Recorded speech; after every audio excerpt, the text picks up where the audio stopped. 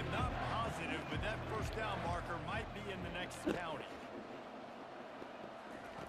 On third and long, doesn't need to take the check down. Fires to the tight end. Just causing wreckage in the secondary.